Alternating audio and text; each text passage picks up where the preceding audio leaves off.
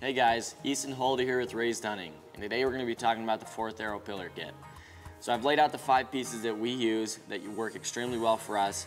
Now depending on what kind of blind you're using will dictate what pieces you're going to have to use. So if you're using a permanent blind, you're going to use just the blind bracket because typically you'll have a shelf in there that you can just mount this on. Now for us, we use pop-up blinds, so we have the pop-up blind adapter, which these two pieces go together. Now the other piece that you're really gonna need is your tripod adapter, which goes on top of your monopod, so that you can use your Rex arm, which is what we use in the blinds to give us a little bit more range so we never miss a shot. So now that I've shown you guys and told you guys what the names of the pieces are, we're gonna head outside and I'm gonna show you guys exactly how to use them and how to set it up. Okay, so I have the pop-up blind adapter, and you can take both of these screws off. I already took this one off, but you can take them both off or just one. I prefer to do one. You're gonna slide it behind one of the hub poles, or both the hub poles, and slide it as far down as it'll go. Then you're put that back through there, and then screw this back on until it's tight. So you're just gonna tighten this one down pretty good until it's not gonna go anywhere.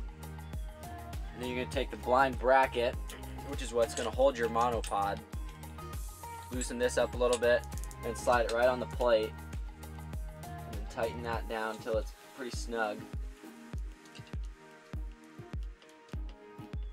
like that then you're just going to take this part is where your monopod is going to go slide this in here like this and then put this through and if it's not loose enough just loosen the wing nut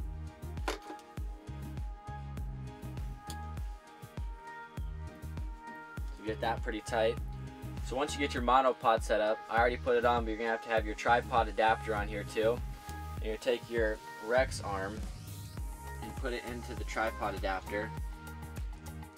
Just wiggle it around until it slides down, and then you're gonna tighten this up so it can't go anywhere. So now you have your whole entire system set up. I'm gonna take my camera, slide it on here. So now that I have my camera on, you can tell that it doesn't take up any room in here at all. A tripod typically would take up pretty much a whole half of the blind, and with a tripod, you don't get to see as many views or anything else. And with this, the pillar kit, you can see all around you and to your right and everything else, and you're not going to miss a single shot. So make sure you guys go on over to Fourth Arrow and check out all their different products, especially the pillar kit. We love it.